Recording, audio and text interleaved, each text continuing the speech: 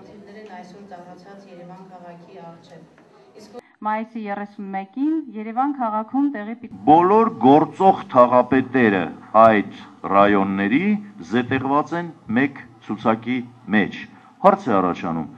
Էդ ինչ պիտի փոխվի։ Էդ ինչ պիտի անեն,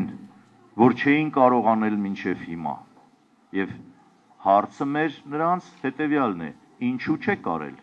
Ենթադրել կարելի է, որ հաջողության դեպքում նրանք կպահպանեն իրենց պաշտոնները։ Ուրեմն ոչ մի փոփոխություն դրական առումով չի լինի, որովհետև նրանք ի վիճակի չեն իրականացնելու այդ փոփոխությունները։ Իրա ի վիճակի լինեին, ոչինչ չէր խանգարում նրանց իրականացնել դա, երբ ընտրվել էին իրենց համայնքներում եւ որոշները բավական տարիներ արդեն իրականացնում են այդ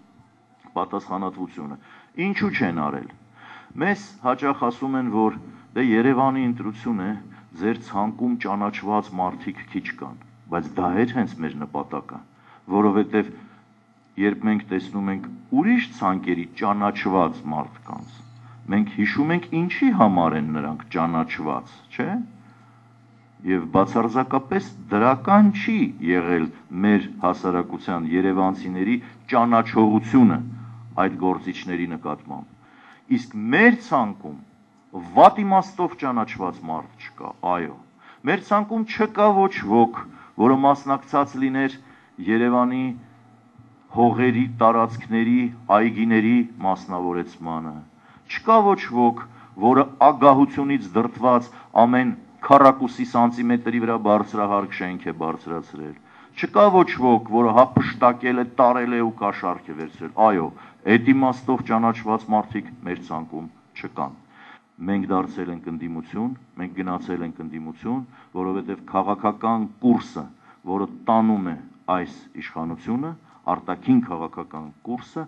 բացարձակապես մեր կարծիքով չի համապատասխանում հայ ժողովրդի եւ Հայաստանի պետական շահերին։ Դա վտանգավոր կուրս է, բայց քանի այդ կուրսը համեմատաբար ճիշտ էր տարվում, մենք կարող էինք ինչ որ չափով կուլ տալ եւ լռել մեր անհամաձայնության մասին տարբեր եւ տարբեր այլ հարցերում։ Հիմա այլևս որպես ընդդիմություն մենք իհարկե ձեր աչքերը կբացենք շատ եւ շատ այլ թերությունների վրա, որոնք մինչ հիմա կարող էինք համարել երկրորդական,